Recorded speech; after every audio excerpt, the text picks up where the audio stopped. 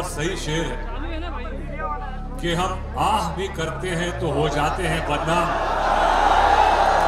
आप समझ रहे मैं किसकी बात कर रहा हूँ? हम आह भी करते हैं तो हो जाते हैं बदनाम। वो कत्ल भी करते हैं तो चर्चा नहीं होता। मीडिया किसी वजह से कई बार चुप हो जाती है, लेकिन उनकी भी कुछ मजबूरियाँ हैं। लेकिन चाहे वो बच्चे यूनिवर्सिटीज में जो आज पूरे देश भर में फैल गए हैं और उनकी ताकत दिखाई दे रही है बिकॉज़ यही जो ताकत है, ये नौजवानों की, ये ये एक पीढ़ी जो होती है, ये एक जो नौजवान होते हैं amazing and I hope they keep this going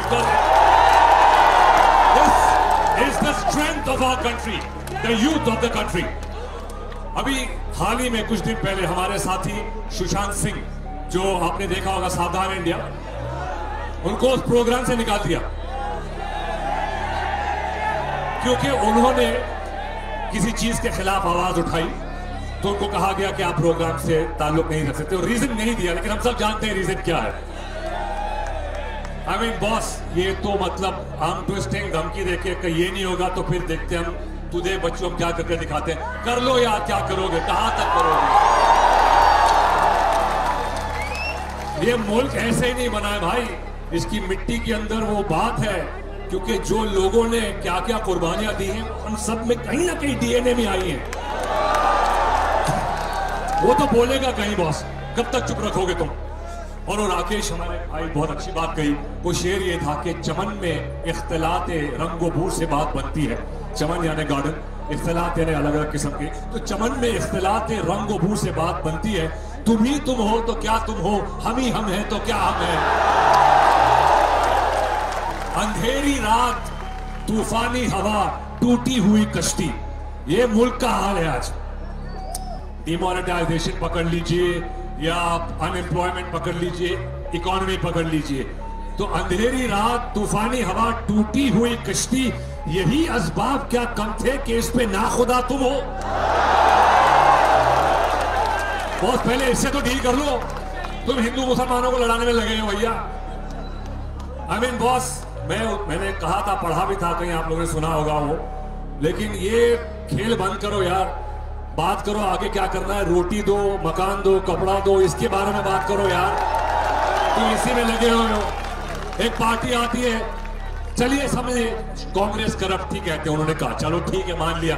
आप क्या कर रहे हैं? आप आके बात कीजिए, आप स्कूल बनाएँगे, आप एजुकेशन करेंगे, आप हेल्थ पॉलिसी कराएँगे, आप अनएम्प्लॉयमेंट को सही करेंगे, वो बात नहीं करते, आप आके सीधा बोलते हैं, हम मंदिर बनाएँगे। अरे बॉस और कुछ है नहीं क्या बनाने के लिए? मुल्क को बनाओ ना यार। तो ये कि ये अलाउड है, ये जो सिटीजन अमेंडमेंट एक्ट है, ये बहुत ही खतरनाक और बहुत ही कम्युनल एक्ट है ये। और जिसके खिलाफ हमारे कॉन्स्टिट्यूशनली ओपनली कहा है, और हमारे इस मुल्क को जो बनाने वाले हमारे माए बाप थे तो चाहे वो सरदार पटेल हो, गांधी जी हो, या नेहरू जी हो, ये सब लोगों ने मिलकर जो अंबेडकर साहब खास तौर पे, जिन्होंने ये कॉन्स्टिट्यूशन बनाया है amazing this man Ambedkar and what उनके कॉन्स्टिट्यूशन में जो लिखा है, उसके खिलाफ टोटली खिलाफ है ये।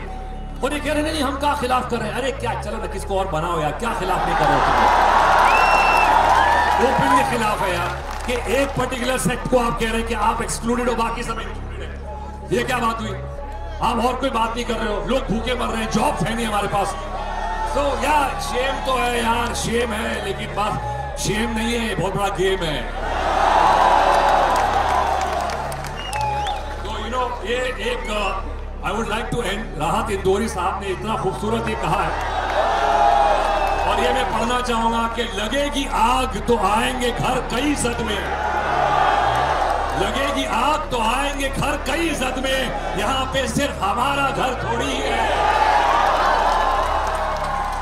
और ये आखिरी लाइन कि सभी का खून है शामिल यहाँ की मिट्टी में। सभी का खून है शामिल यहाँ की मिट्टी में। किसी के बाप का नहीं